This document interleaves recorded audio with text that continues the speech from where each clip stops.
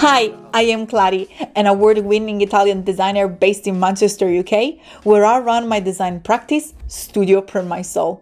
In this video, you will learn how to display critical information and data together quickly and efficiently. While working with Lancaster University in partnership with Envision Doctoral Training, I led one of the group of PhD students in the InfoHackit competition.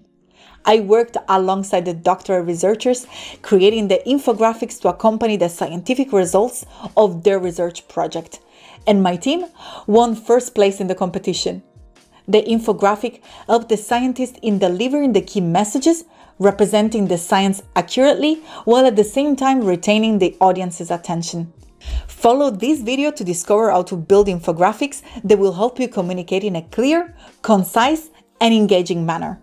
To get started, click on Create New. Then, set your intent to art and illustration and click on Poster.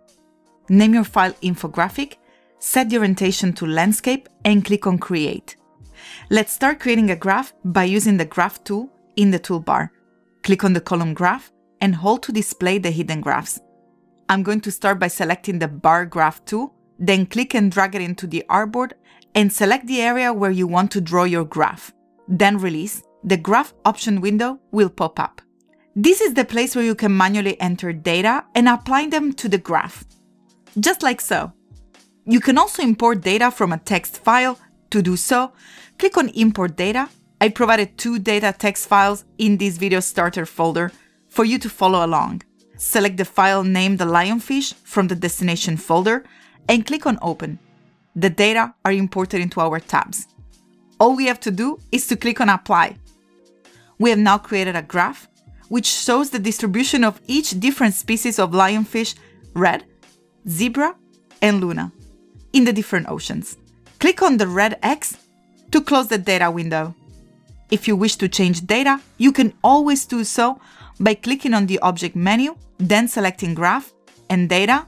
Here, you'll be able to change any data by clicking on the cell and inputting the right number. When you're done editing, Simply click on Apply to modify your data and close the window. Let's use another graph. From the toolbar, click and hold to reveal the hidden graphs and select the pie graph tool. Click and drag to draw the area where to place your graph. Let's go ahead and import our second file by clicking on the import data icon and select the file named Lionfish Nutrition and click on open. Now that the data are imported, let's click on apply. The graph shows the different distribution of preys per each different species. You can also change how to display this data by transposing rows and columns. You can do so by clicking on the second icon and then click on apply. As you can see in this case, the data from your column and row will be swapped.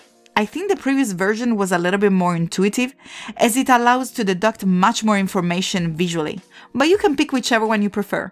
When you're done importing your data and you know you're not going to have to edit them anymore, you can select both graphs using the selection tool then click on the object menu and select Ungroup. Then click on Yes. Illustrator is letting you know that once you ungroup these elements, you won't be able to change the data anymore. Now, with both graphs selected, go to the Edit menu, select Edit Color, then Recolor Artwork.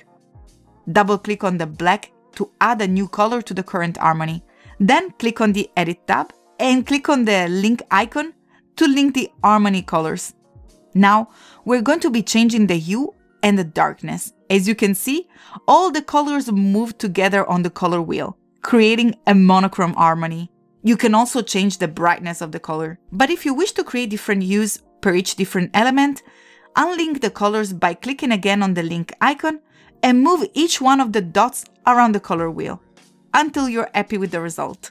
When you're done, click on OK. To resize the graphs proportionally, hold Shift and drag down from the corner of the bounding box, just like so.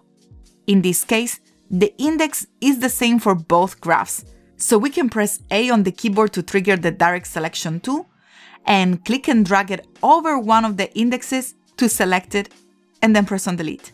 All we have to do now is to give our infographic a title.